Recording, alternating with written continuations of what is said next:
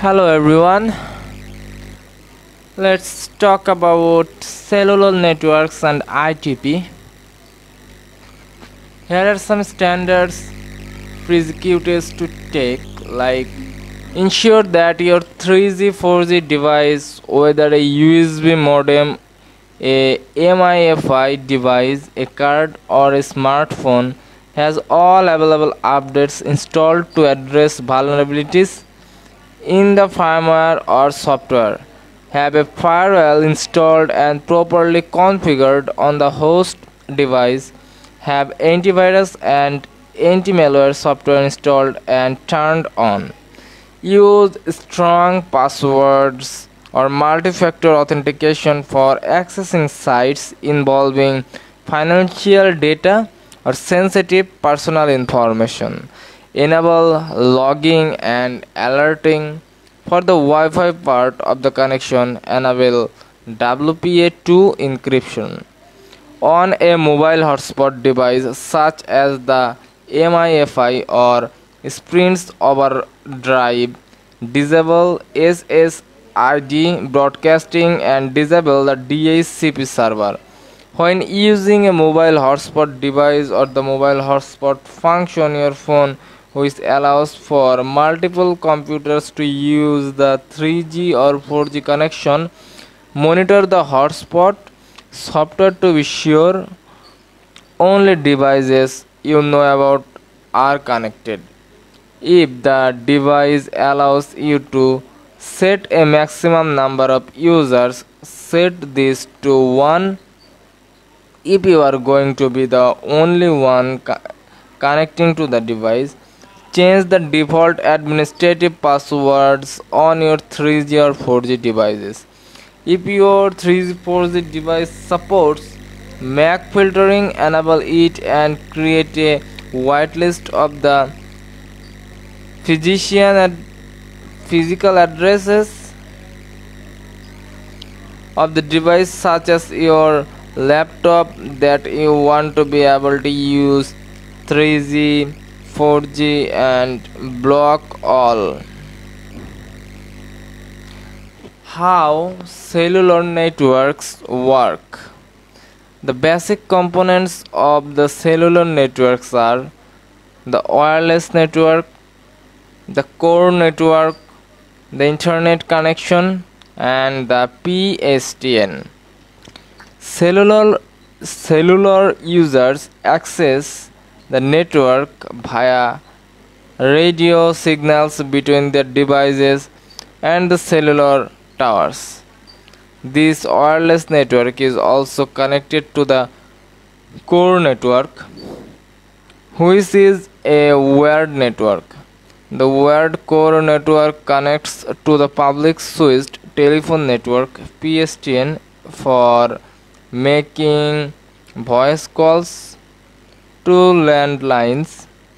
The core network also connects to the internet using some protocol, gateways, and multi protocol mobility managers for sending data to and receiving data from other data networks the core network uses service nodes, which are servers, to store data such as subscriber information. Of course, it's far more complicated than this. There is some security issues like anyone who has worked in network administration and security knows that any network is only as secure as its weakest point. The problem with complex internet works such as the cellular networks is that they have so many parts and thus so many potential points of security failure. Overall, security of cellular data transmission depends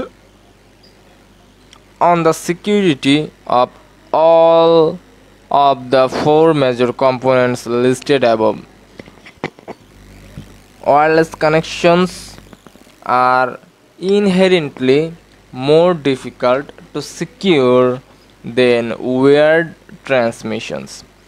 When signals go through the airwaves, it's easier to intercept them because you don't have to physically tap into a line.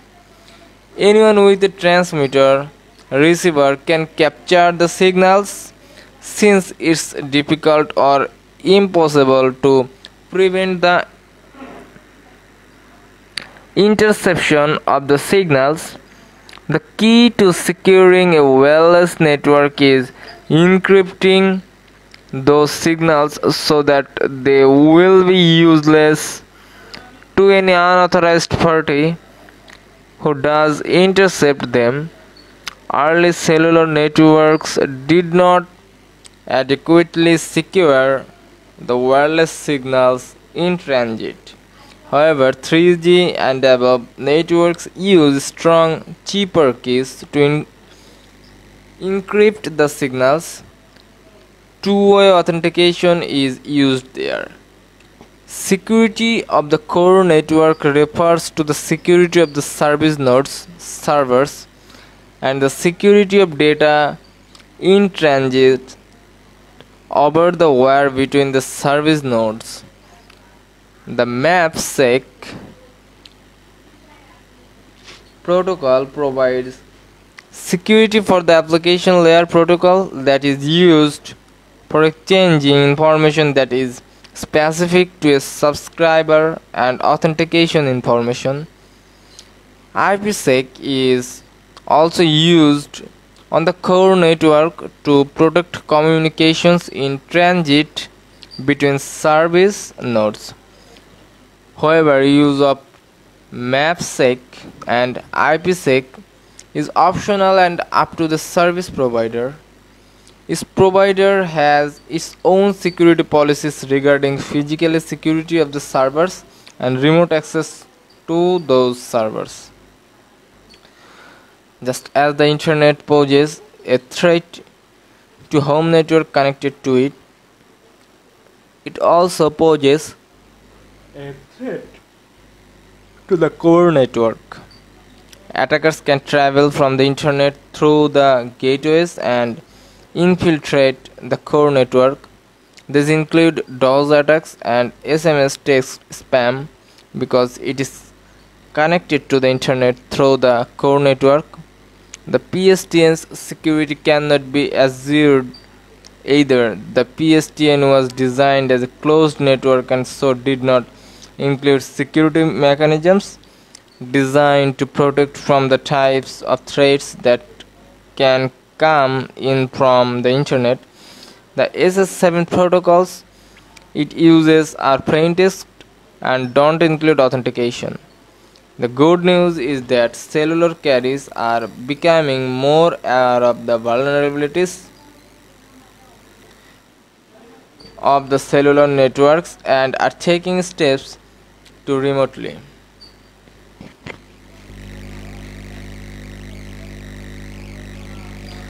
remotely nonetheless it's just as important for you to take measures to secure your own data and systems when operating them on a cellular network.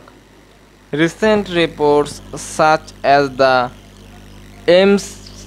McAfee report on mobile security released this month focus on smartphone and tablet operating systems but it's important to realize that laptops and desktops connected to the internet via cellular transmission.